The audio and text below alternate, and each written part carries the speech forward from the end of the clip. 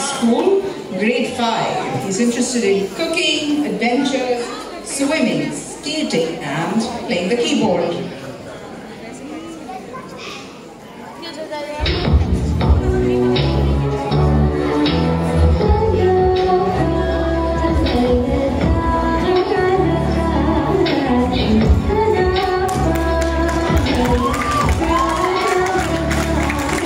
Thank you